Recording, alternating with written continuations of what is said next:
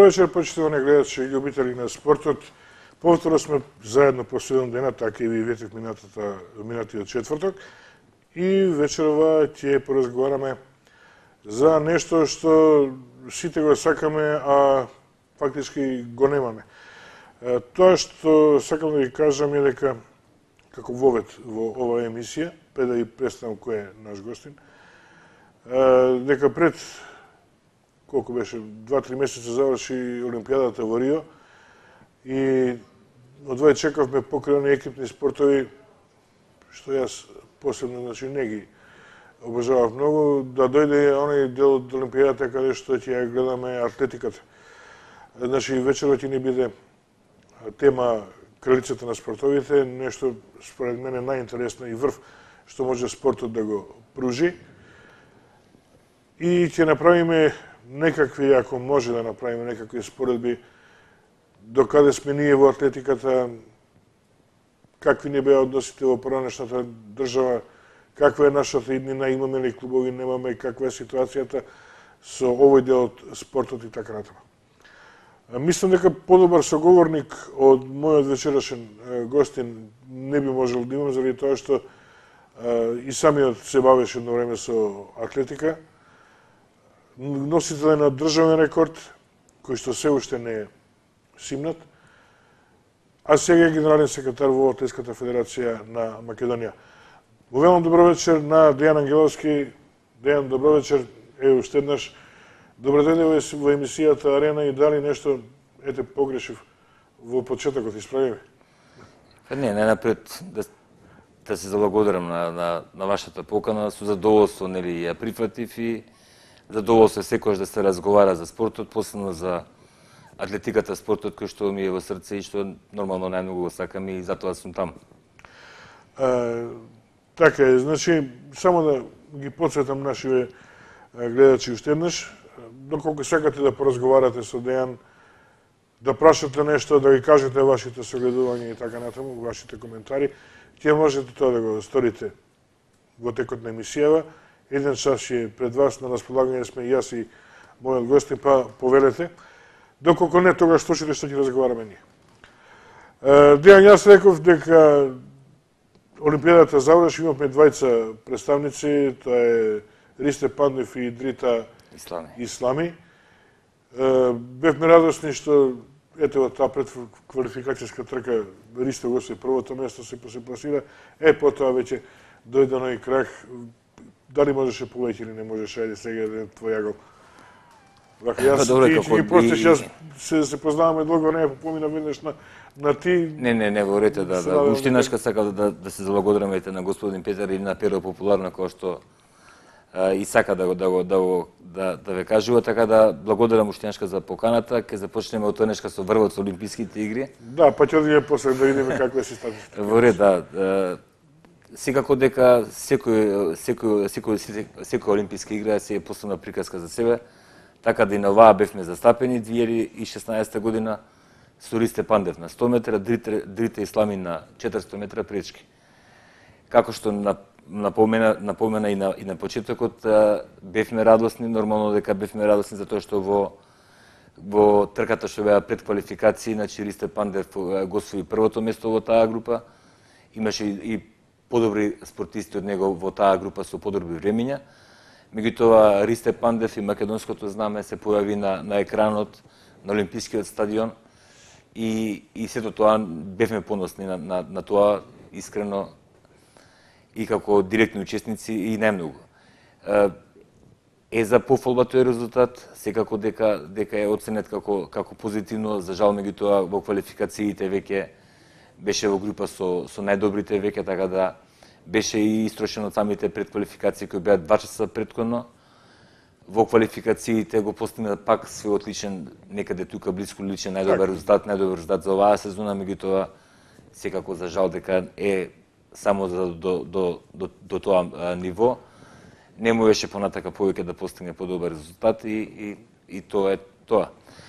Дрите ислами за настапот на Дрите Ислам исто така е окарактеризиран а, позитивно од страна на, на, на Атлетската федерација со цел за тоа што сепак се тоа и млади атлетичари, забори да кажам, Дрити Исламија на возраст од 20 години, Ристе Пандев на од 22 години. Иднината може да кажеме дека е пред нив, за тоа отом потом, за самите Олимписки игри. Целта беше да се постигне резултат што ќе биде подобар од тој што беше предходно пријавен, а тоа е нормално воедно ќе беше и рекорд на Македонија во таа дисциплина и очекувавме да да постигне резултат што ќе беше рекорд и норма за европско првенство до 23 години. За жал временските услови во тој период таа вечер на таа трка не беа на благо наклонети на незина страна. Да, и сами знаеме дека имаше одлагање на самиот надпревар, се знае, не се знаеше дали ќе продолжи, не ќе продолжи, имаше страшно невреме, бура, дошт, меѓутоа организаторот, делегатот одлучија на преварот да подложи после 4 после 30 минути. Тоа загревање потоа се од, се одложи кај незе, меѓутоа сепак таа покажа цврст карактер на на, на, на самата трка, иако беше млада релативно, покажа црст карактер, покажа зрелост во тој момент и се созема истрча за 10-15 стотинки после резултатот личниот пријавен, меѓутоа со тој резултатот иако беше најслабо со најслабо време пријавена, сепак победи 5. Така да тие се во моментот нашите реални можности и, и тоа е тоа, мислам, е, сега, реално. Е, сега да те прашам и самиот е, беше спортист.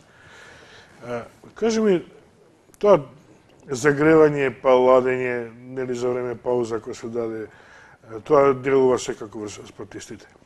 Меѓутоа, секоја земја, особено оние, предпоставувам, значи не знам, затоа е убаво добродеден си да кажеш кај, како е тоа, секоја земја тоа загревање си го врши предпоставувам некој поразличен начин, некој е, со трчкарање, некој со хемија, некој со со масажа, физика, да. масажа, музика, не знам ја што и како. Меѓутоа, си се загреваат некој побрзо, некој поспоро.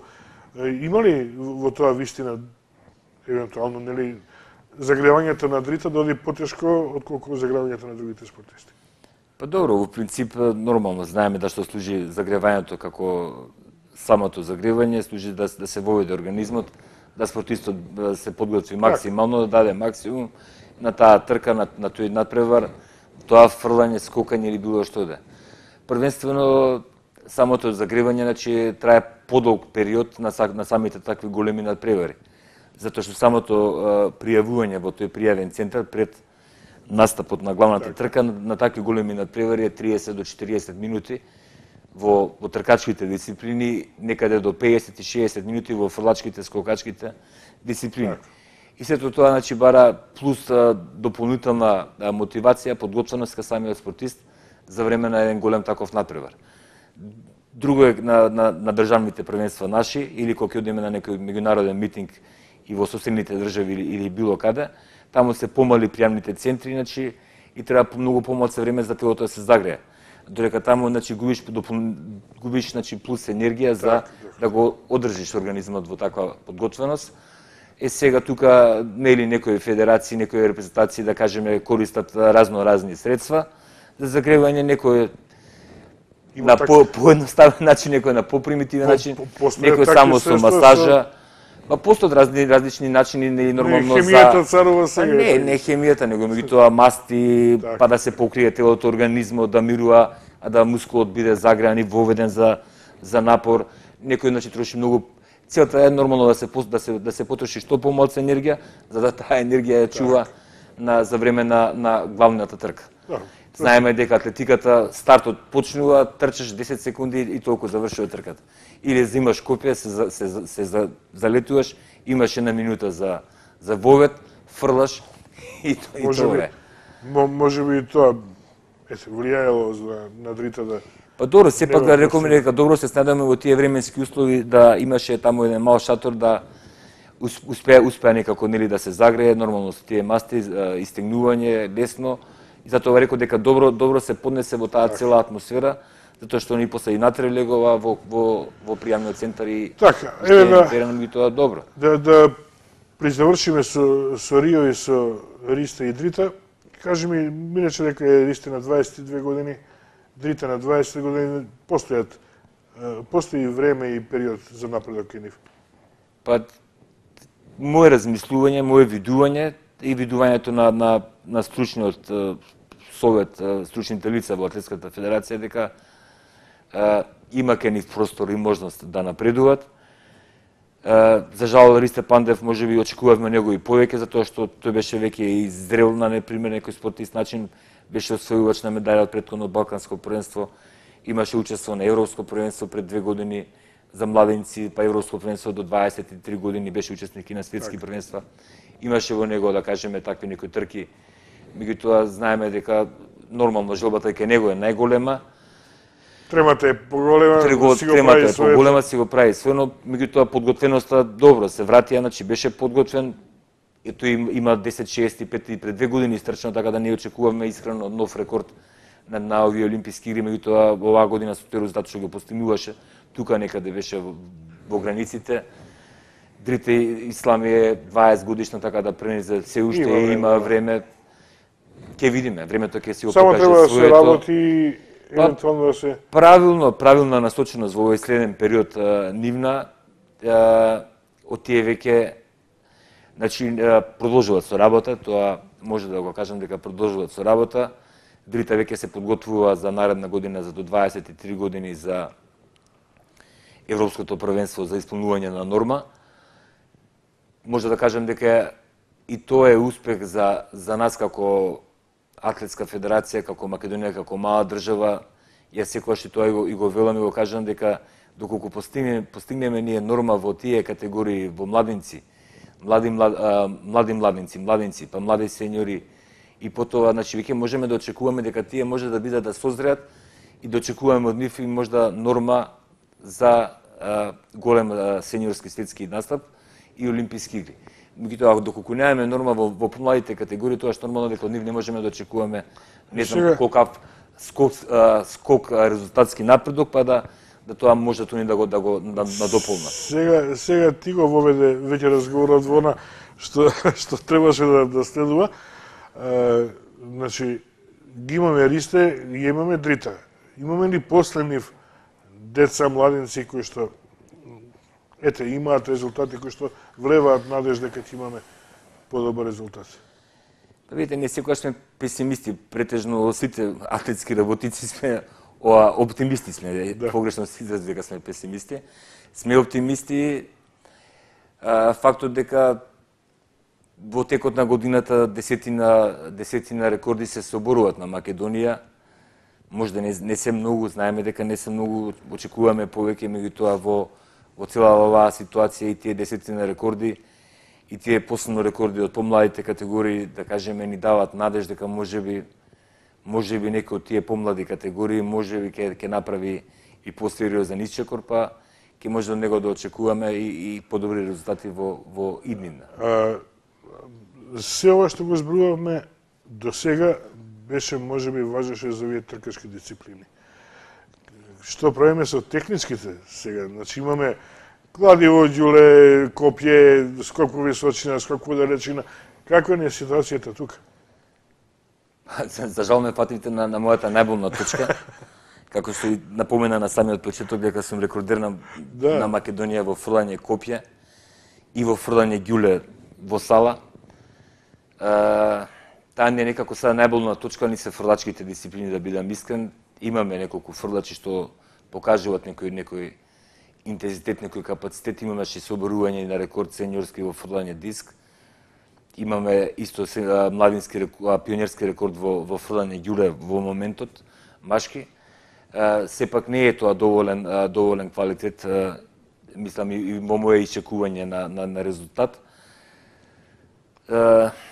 Сето тоа се допринесува многу работи што ако ги кажам, ќе се надоврземе на друго дека недостиг на реквизити, Тоа немање, немање, значи, немање место на 45 минути немање место на на услови баш за тие фрлачки дисциплини каде што барат на вистина посебен еден еден а, објект да, да да се изгради. Тоа ни е во размислување за во во план ние како федерација да го оствариме наистина се судриме со еден проблем околу фрлачките дисциплини во да изградиме, во овој период. Да изградиме објект кој што ќе биде само за фрлачки дисциплини? Да, да. Може такво нешто да се направи? Па ќе може на некој на некој од фудбалските игралишта или кој што се во помаце во функција или помаце во, во корист да се изградат само атлетски патеки и ова сегменти за Аха, за летиште за фрлање копија и да се направат посебни кругови за со, со, со кафеш да се загради Так. заради заштита за фрлање на диски кладиво, а гјулето не е најлесното, гјулето може да се спроведе секаде, меѓутоа овие три дисциплини се малце поспецифични и нормално не може да се фрла копија ни на стадион. Во, во дадениот момент, као што е сега стадионот поставено на стариот, имавме еден таму мал дел со трева, веќе Сега сега овој градски националната арена не, не го дозволуваат, не, не ги дозволуваат тие услови да да може да се тренира. Затоа реков малце сме хиндикепирани во тој дел и може би ќе треба да се размислува и се размислува да се направи една посебна посебен центар за фрла, за фрлачиве. дорека за скокачите па а, се донесе а, се донесува душеци, мислам се набави опрема пред две години направивме напори како атлетска федерација, аплицираме преку некои проекти а, преку нашите меѓународни институции. Добивме донација на опрема за скок со стапи и скок со височина, па се надам дека сето тоа ќе допризнесе да да во иднината и исклучи некој нов нов Кога го спомен ова, сега ми испровоцира едно прашање. А, имаме две нови тартан стази. На градскиот, односно на Филип II во Охрид. А, не е доволно тоа, меѓутоа, ајде, до, до вчера немавме ни една, па ќе ќе кажеме, ајде, еве нека трчат деца. Кога сите овие сегменти би се поставили на едно место, на едно игралиште. Не мора да е во центарот на Скопје, нека е и надвор. Имаме еден куп игралишта кои што не се користат, а може да се би чинило многу поставувањето на, на тие сегменти на едно такво игралиште?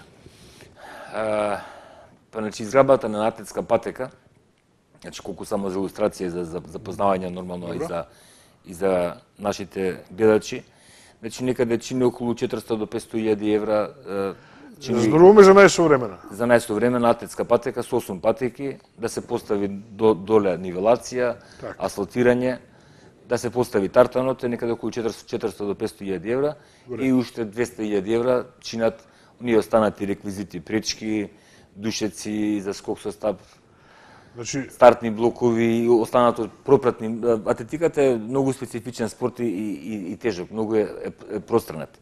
Многу дисциплини, многу многу дисциплини, затоа е многу захтевен и и е интересен, интересен на меѓутоа. ако, ако добро те разбрав, ако добро те разбрав, со 780 до милион евра нека.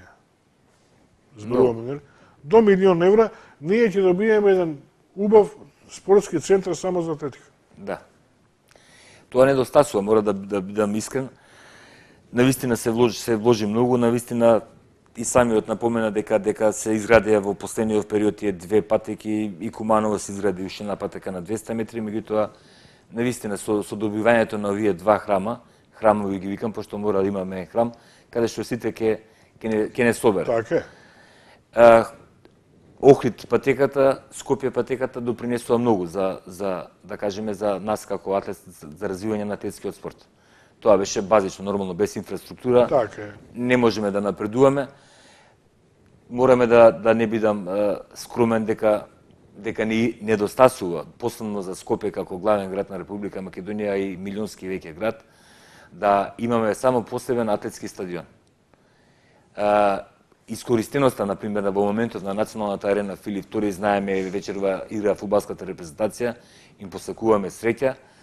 Нормално сите ќе навиваме, после ќе идеме на стадион, меѓутоа, значи, кога ќе има фудбалска утакмица, тоа значи атлетика не може да го користи стадионот. Така. Или пак се чува за некој И- Или пак се така. чува за некој надпревар и сето тоа. Значи, навистина ние сме благодарни на јавното предпријатие, на, на државата, на владата што направи во изменет период со поставување на, на, на овие атлетски патеки, кои за нас навистина многу значат. Верувам дека ќе знаеме начин, можности да, да сето тоа го премиме, доопремиме, затоа што чини, искрено чини. Буџетите на федерациите, сето тоа, не сме ние богати, сме аматерски спорт и не можеме да искрено да бидеме да да допринесеме да да донесеме Малку ме, реквизити исправи. ма, малку ме, да бидам искреме, ме затече со оваа сума од милион евра, заради тоа што очекував дека е многу, многу повеќе. Сериозно очекував дека е Па многу не, ми, повеќе. а, некаде околу 40 евра е самиот самиот арт. И сега нормално претходно таа нивелација се зависи од тоа дали Значи, сакаме јас 6 или 8 пати. Значи, ја, ја, јас одев да сите оние сегменти нели за скок по височина, скок со стап и така натаму дека чинат многу повеќе, а знаев затоа намерно ја ја тренирам на страна тартан патеката, не ја спомнав на почеток, мисле дека се работи за 10 на 15 милиони вкупно. А сега кога ми рече милион евра, тоа е смешна сума за еден град, за една држава, за една влада, за една не знам што, мислам как, како да кажам да не го изгради. А треба има деца кои сака да тренираат. Па добро, има деца ќе има и многу повеќе во тој случај, верувам дека ќе има повеќе, да, доколку добиеме, верувам дека доколку да се добие атлетска патека што ќе биде 24 сата на располагање. Така е. Не зборам само за за атлетиката, за за атлетичарите кои се регистрирани или членови во во и, клубовите. и нека си ја користат Верувам дека дека затоа затоа сакав да да да, да, да се доловам до тој момент дека сепак атлетиката е базичен спорт, еден основен спорт. Дека тоа треба да се да се довозможи на секој граѓанин на пример да да да може да истрча, да истренира, да се да да види да го да го несе детето на атлетски стадион дека може да проба, може да проба дали е брз, дали може да скокне, дали може да биде да скокне највисоко, најдалеку, да фрли најмногу со добивање на таков еден атлетски стадион засебен и веќе да да не разговараме дека и за изградба на атлетска сала сепак и временските услови во зимскиот период не дозволуваат. Знаеме дека и во и во поранешна Југославија таква сала не постоеше. Не постоеше. Сега доби Белград со сала оваа година изградија прва во поранешна Југославија. На Балканов тука Бугарија има, Грција има, Турција, меѓутоа на околните држави беше Бугарија една сала, Грција имаше две три две сали и тоа. е. Меѓутоа доколку и тоа се овозможи и, и тие зимски услови да може да се тренираат во континуитет, верувам дека ќе ќе допринесе уште многу повеќе за за развој на атлетскиот спорт. Па верувам јас заради тоа што едно моје искуство, така ти веројатно знаеш многу повеќе.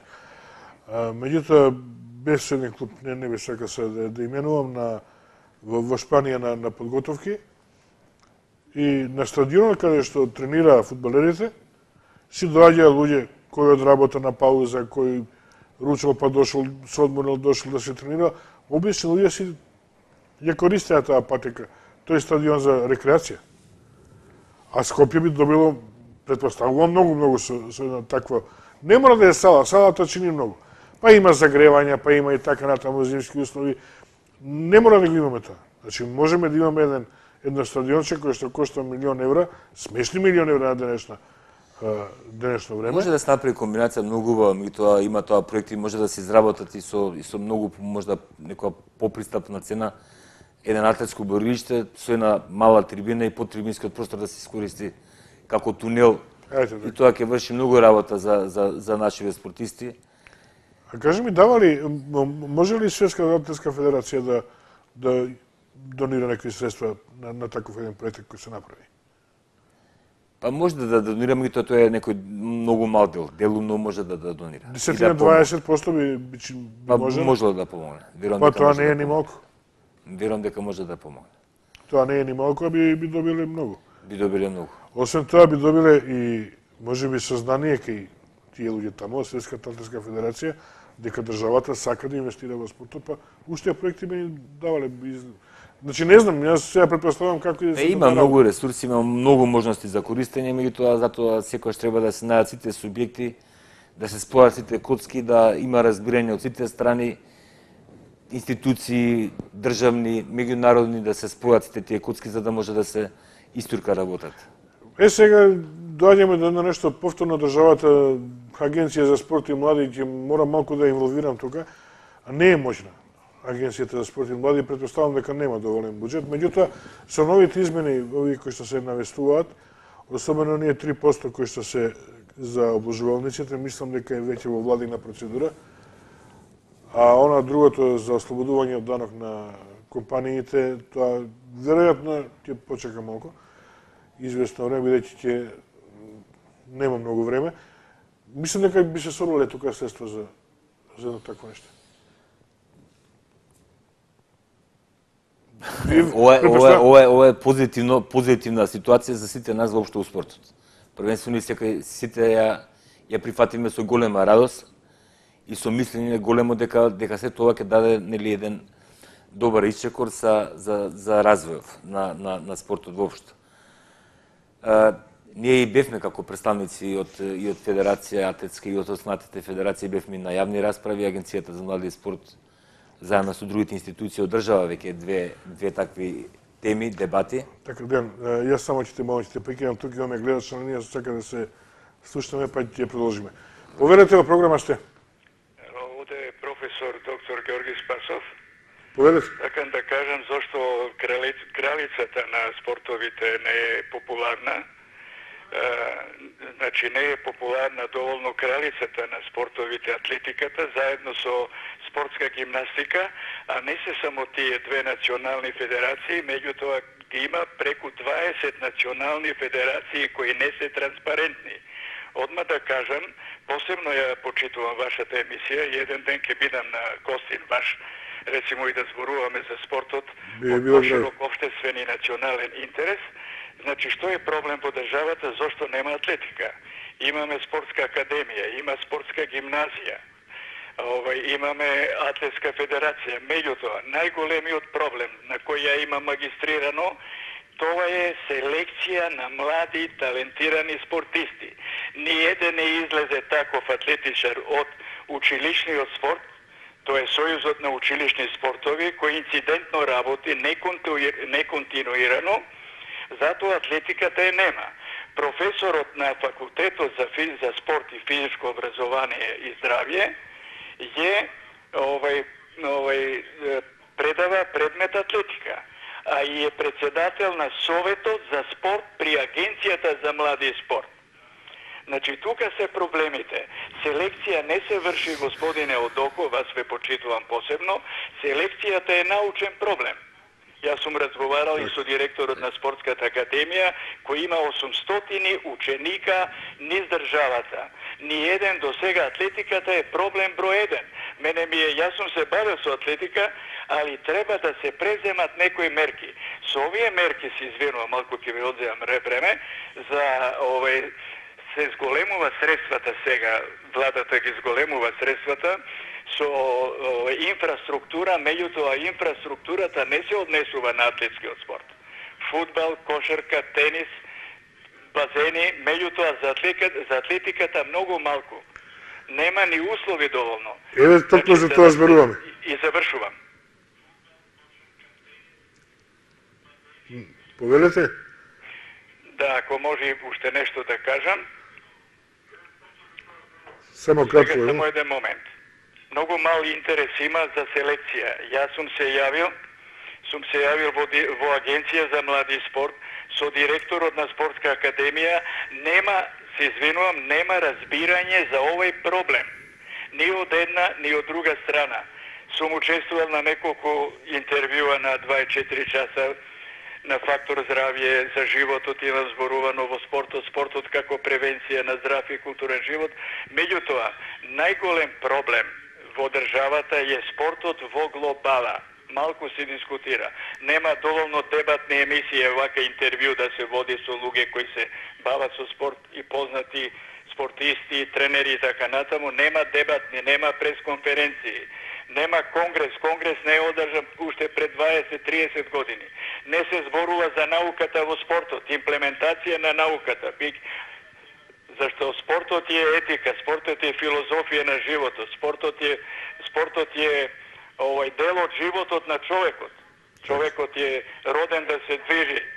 Движењето е живот, животот е движење. Благодара многу и во посакувам значи соработка и понатаму и развој посебно на атлетскиот спорт. Ви благодарам што се јавите професоре, ќе бидете мој гостин, се надевам многу брзо. Дејан не професор Спасов се јави кажа многу од она што и ние ти го кажавме, нели? Та секако дека господинот професор Спасов и мојот сам професор и на, на факултетот за физичка култура, јас сум студент негов. Сето тоа што го кажа е истото еден дел од, од, од целата таа проблематика што ја разговаравме не и предходно и пред емисија и онака неврзано и сега за време на емисијата Потполно се согласувам дека со, со некои работи дека е во право професорот дека треба да се направи таа селекција рана, треба да се направи една стратегија за таква рана селекција.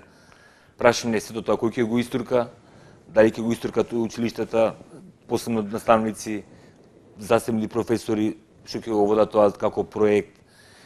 После тоа, тие кои ќе ги превземе, дали ќе ги превземе клубовите, колку се клубовите мокни за, за, за целата таа процедура, машина што ќе треба да се започне како, како идеја што ја и протежира Спасов, точно дека многу работи недостасуваат. Недостасуваат за да за да бидеме како еден мозаик да го споиме, меѓутоа факт е дека и моје видување драго е што се вака се прават вакви емисии како што самиот напомена и и, и вашава емисија што ќе и мојот апел сите тие сите тие познавања да ги искористиме. Ја секогаш и во, и во животот воопшто велам дека секогаш секогаш човекот учи.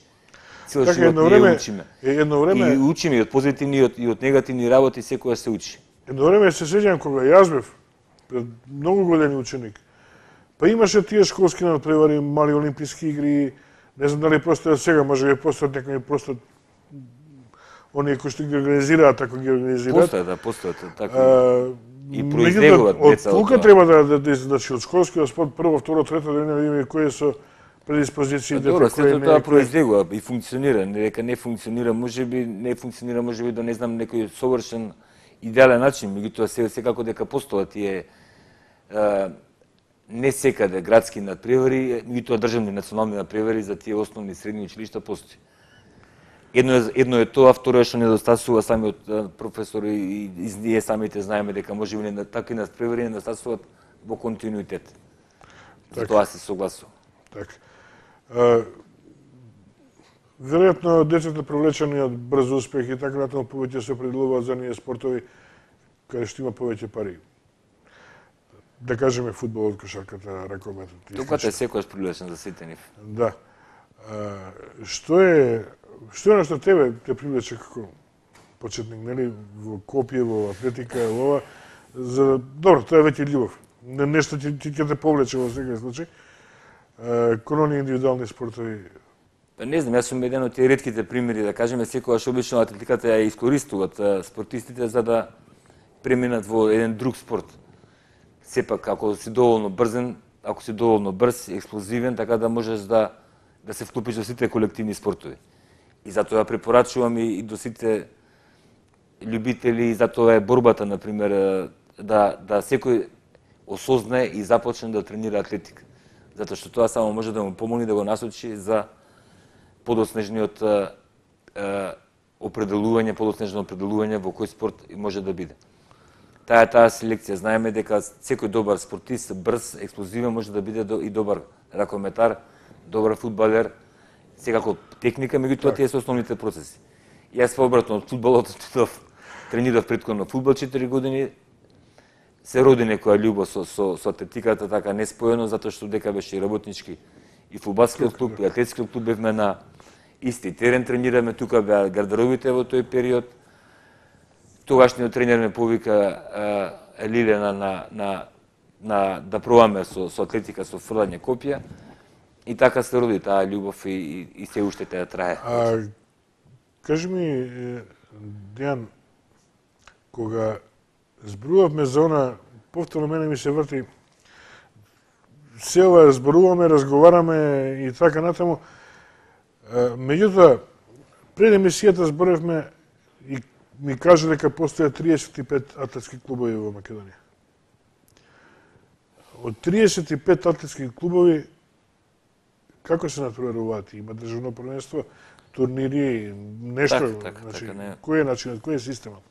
Значи, системот на надпревари на, на Атлетската федерација е следен. Имаме поединечни првенства за сите категории. Добро Прво имаме атлетиката ние поделена на превари на, на стаза, имаме на превари на, на, на улица имаме на превари на крос, крос превари и сега веќе и планинското трчање, нели е како една тоа е, гранка. Тоа е нешто вообичаено или само ние го применуваме така? Не, не, секаде, значи планинското трчање тоа влезе како гранка во, во склоп на, на, на атлетиката. Најголемиот акцент е нормално нели атлетиката на стазата, таа не на олимпискиот стадион и сето тоа има во голем замав е популарноста, масовноста, произлегува од сите овие останати улични трки, маратони, полумаратони, различни трки на различни километри. сега нели модерно и планинското трчање, меѓутоа нормално акцентот може некој ќе се наути во ова што го кажам, меѓутоа сепак натпеварите на стаза си имат понекоја посебна драж да кажеме, Така барем кај мене, са не, вел, не велам дека другите ги запоставувам, меѓутоа ова ме е како број еден. Сум имал прилика да бидам на едни такви надпревари на митинзи, беше Европско првенство, Да, да. универзијада беше и така натаму. Прекрасен е чувството да си Чувството настави да, затоа што навистина тоа е, ние системот на надпревари го практикуваме на тој систем на надпревари поединечни првенства за сите категории, започнувајќи од, од најмладите под помлади пионери под 13 години до сениори и ветерани над е, куп надпревари и екипни првенства. Митинзите за жал мора да напоменам дека за жал митинзи не сме во можност и во последниот период изумреа тие серија на митинзи што се одржува во минатото. Сепак и тие се една добра мотивација за за Да. за афирмација на нашите спортисти првенствено. И тука се единствени, единствени се тие тие надпревари каде што самите атлетичари и спортисти ќе може да бидат наградени на на тие атлетски митинзи. За жал имавме идеи да почнеме да ги наградуваме и националните првенства, меѓутоа самите финансиски услови не ни дозволија да да таков пресек направиме и увидовме дека немаме доволно средства за Така. за да можеме да ги мотивираме нели самите учесници на на, на тие првенства да да бидат помасовни и по со подобар квалитет. Кој? Тогаш да прашам, само имаме гледаш на линија? Не. А, добив таков печаток. А, кој е начинот да ги привлечеме тие деца на, на атлетски терени? Па на Имам, напоменаме не гледам начин, мислам. се враќаме на тоа дека напомена дека има 35 клуба, мора да кажам дека тие 35 за жал 20 не се активни реално. А, клубови каде што имат нели управа, каде што имат тренери и стручни лица, каде што се грижат за грижат за тој тренажен процес. А, факт е дека имаме доста и нови нови клубови каде што веќе гледам дека доста од нив увидува дека треба да се започне со таа детска атлетика, како сите останати спортови, а, да ги привлечеме најмладите во, во, во, со запознавање и осознавање на, на, на, на атлетиката од најмладите возраст.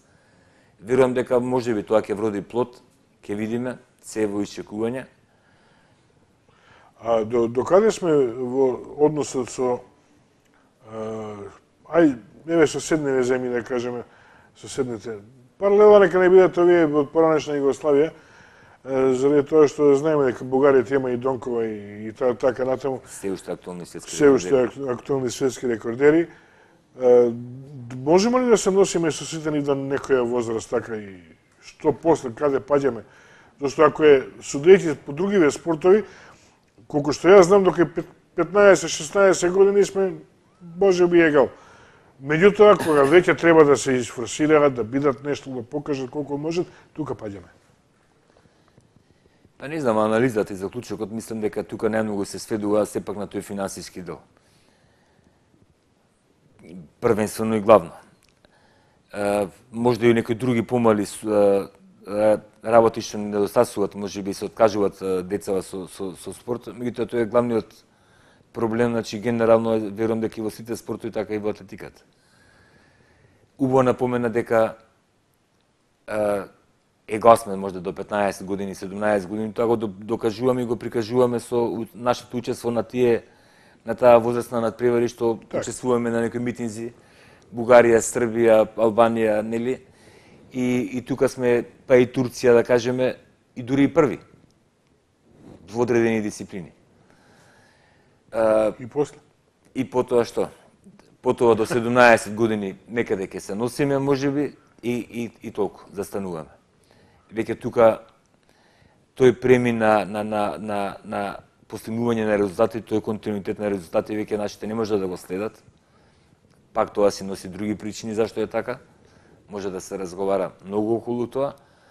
А околу откажувањето на самите спортисти првенствено до, до 20-22 години, го должиме на тоа дека нели сепак до 22 години ако студира во Скопје или се уште студира ќе тренира.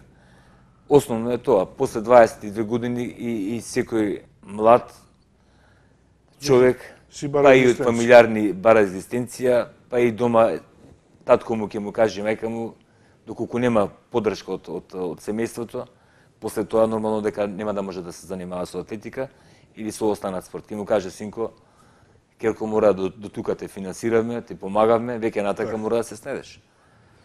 Клубови неаме силни да може да, да ги пратат спортистите, ние како федерација колку сме мокни сето тоа да го спроведеме. Имаше размислувања, затоа и кажав преска дека секогаш учиме ние во животот и, и, и сугестиите и на, и на поранешните функционери, да кажеме и, и стручни лица. Било на тоа на, на тоа на тој начин и сме размислувале, ние сме ставале некој контакт, некој таков дел во програмите наши да можеме да барем со неколку спортисти сеньори започнеме да на некој начин ги финансираме, да им дадеме некоја мотив начин да да сепак нели продолжат понатака со со со занимавање со атлетски спорт. Верувам дека тоа не е многу средства, затоа што сепак во атлетиката мора да кажам дека сите што што работат се многу скромни луѓе. Многу скромни луѓе и верувам дека со со малце средства можеме да ги придобиеме да тие деца А, продолжат и понатака. Добро сте имали разговори со Агенција за спорт и млади, претпоставувам да. А, Сте, сте изделе со некаков проект, еве да, да направиме, зборувам сега, ќе вратам на оној милионот од преска, да направиме атлетска, атлетско стадионче ќе чини милион, па потрошени се 20, 30, 50 милиона за фудбалски терени, па немаме фудбал. Два, три, да има такви по, по региони, се 3 милиона, пак ќе кажам за државата се смешна работа, а многу ќе придонесе. Па добро, сега концептот беше тој на државата, се изградија тие фудбалски терени, се изградени и тениски терени. Верувам дека можда се направи и два тетски стадиона, нели?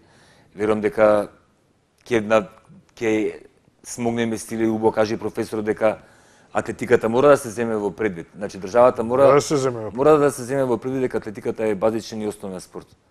Со гимнастиката и не можеме ние да, да рачунеме дека тие спортови ќе бидат а, спортови од екзистенција. Баш од таа причина дека не се спортови од екзистенција треба малце да се поведе И сигурно се поголем- многу поевтини него. поголем рачун и сметка баш околу тие спортови. Лесно е. Знам дека секој родител ќе даде 800 денара за детето и 1000 денара да вежба да, да оди на фудбал. Да. Затоа што ќе очекува од тој од тој син и од Дека се дека тоа тие пари ќе се вратат.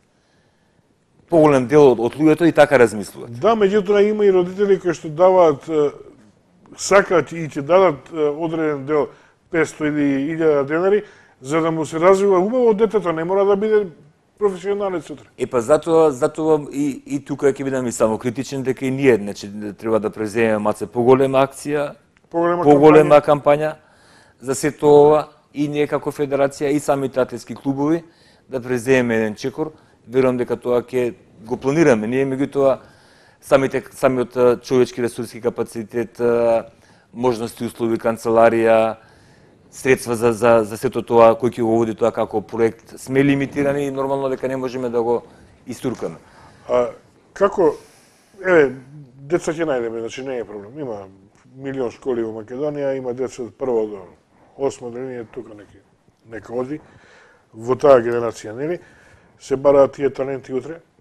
Имаме ли ние доволно стручен кадар за за да ги ете земе тие таленти да направи нешто од нив.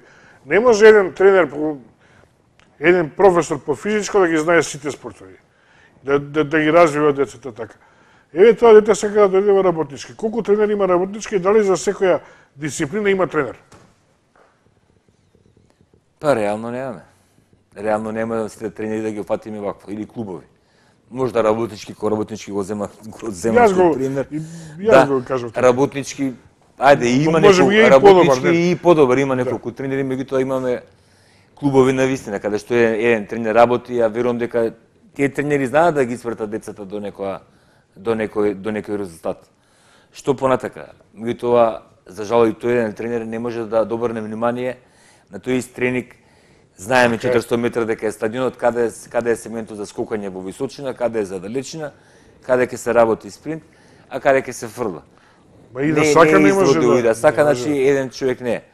Тоа може да се реши на начин што може би би се би се вратило повторно ќе кажем јас дека можда ќе може да се реши доколку се преземе иницијатива да се вработат професионални тренери да се работат професионални тренери и, и на многу полесен начин да се работат професионални тренери. Тој тренер ќе си има работна обврска, работно време, работна задача, ќе има исполнување, ќе има плата за тоа, меѓутоа од него ќе се очекува да има и резултат. Има една, имаме една и една друга А работа. во се. случајот, во случајот да само да се надоврзам дека веќе ги спомнаваме тренерите, да се надов- надоврзам дека сите тренери во во, во атлетскиот спорт се на се волонтери. И и работат за нула. Јас јас сега малку пак ја префрлам топката кај кај државата. Да појдеме во завод за вработување. И да видиме колку невработени професори по физкултура има. Со завршен факултет за физичка култура. Па ако не се 500 600 ЕВС, значи ќе укинам емисијава. Не нема да ли повеќе. Од тие, значи секој веќе знае што е атлетика, учел тоа, работел тоа, значи може да се посвети е, на одреден спорт, на одредена дисциплина, да ја усовршува, да ја специализира и да стане нешто. Е, сега тука што ќе желба постдипломски Па сето тоа, сето тоа и така. го имаме во еден период, имаше три професионални тренери во Република Македонија и тоа траеше како еден проект во тоа време од страна на државата. И мислам дека во тој период вроди тоа, вроди тоа плод. И верувам дека тоа доколку повторно се врати, значи ние за тоа зборам, ние имаме модели, модуси разно разни. И држави со слични како нас, и побогати, и посиромашни, може да се искористи еден модул начин, а и мора да ризикуваме малце повеќе да пробаме да, да, да нешто промениме. Па не може една Етиопија да биде велес или што ти ја знам таму до, до вчера нема да јадат веле дека што- сиромашки, а сега владе со со долгопругашки. Дуго, да.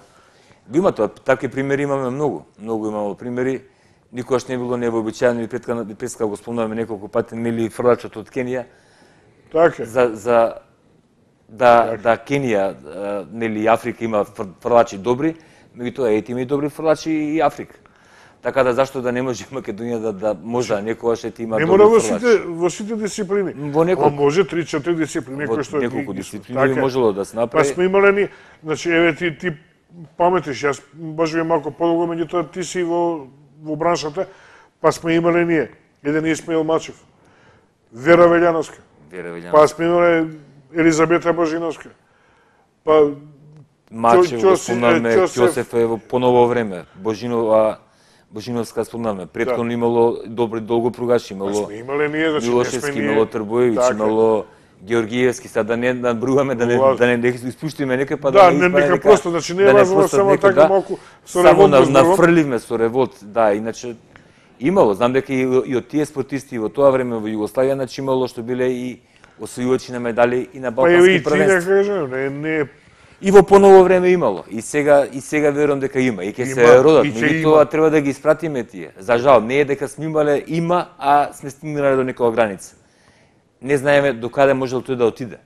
Доколку не му дадеме максимални услови Треба и да се шанси. испрати тоа дете, тој талент не. Тоа, тоа, тука треба да се сконцентрираме најмногу, да се направи стварно селекција, да избереме и да можеме да ги испратиме максимално до да видиме дали можеме на вистина Така и самите да си дадеме на задача да кажеме да не бива или не не бива.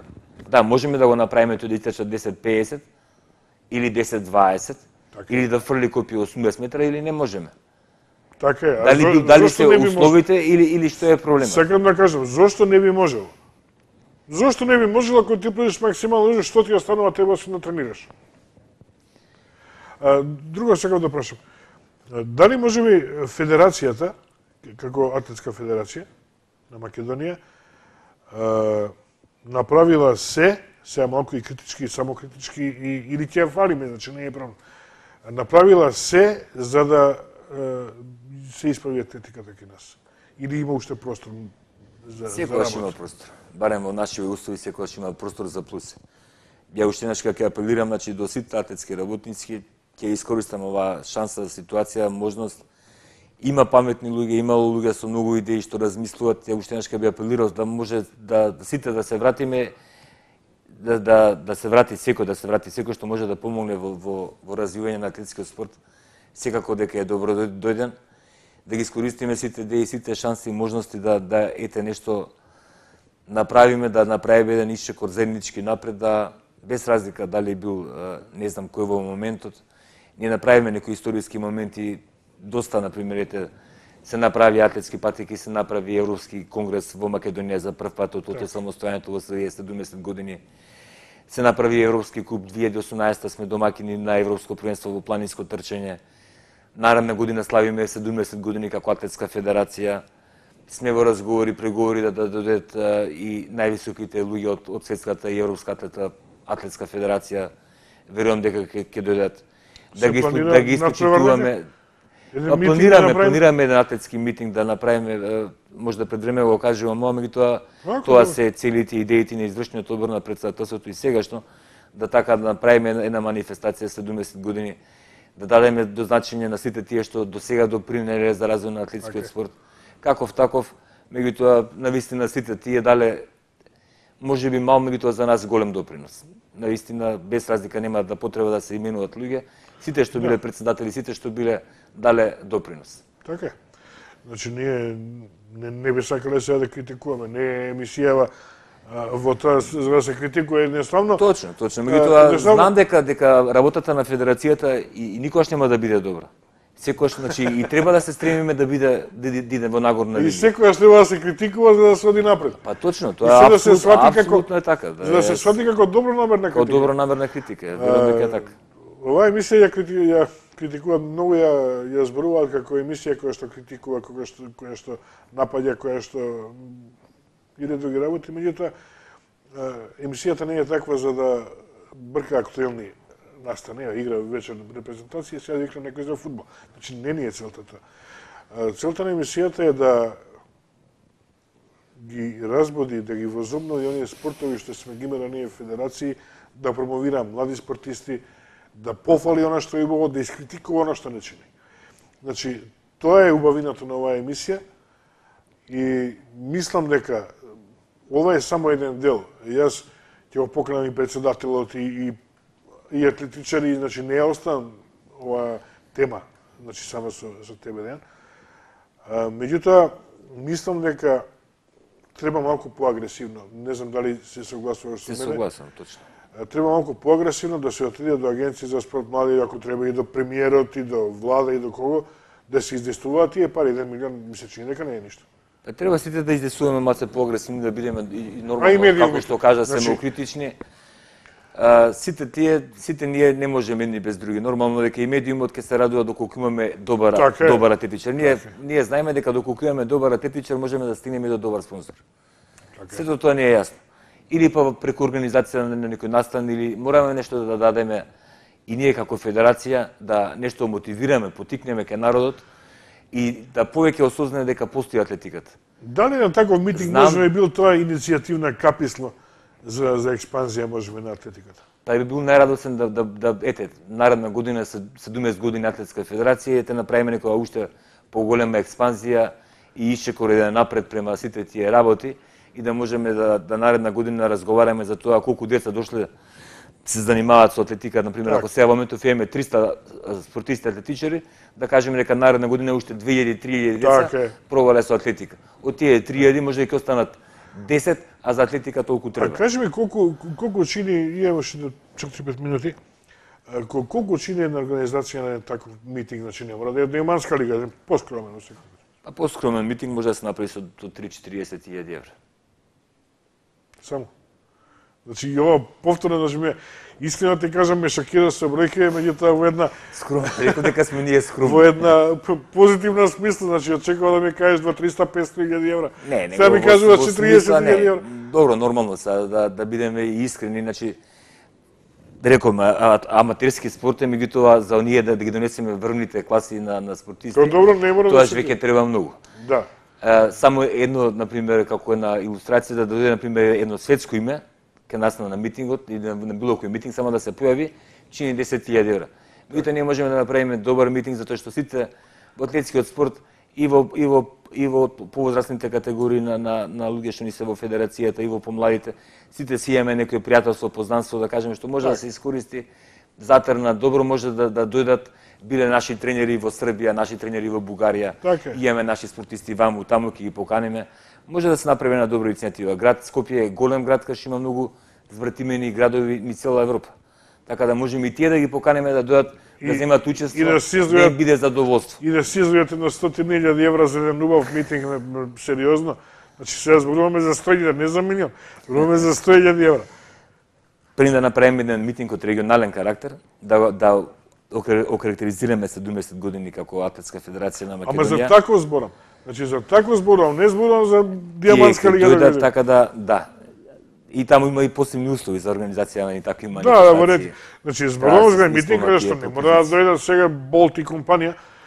Ќе дојдат некои, ето така, средни спортисти од нивна, кои што се за нас многу високо. Можеме да направиме. Ја верувам дека сме капацитет имаме за таков за организација на таков митинг. Тоа го докажавме со организација на Европскиот куп каде што добивме позитивна критика на конгресот, меѓутоа со со дофинансирање на уште повеќе средства од страна на на агенцијата.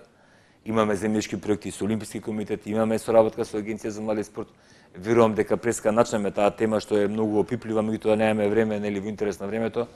Го спомнаме тоа со таа промена за јавната расправа нели околу А, да. средствата и финансиите, доколку со тоа се влезе повеќе средства во, во, во, во стручните лица, повеќе средства во клубовите, нормално со правилна распределба на сите тие средства, нека се има контрола, нормално, нека се има транспарентност во работата.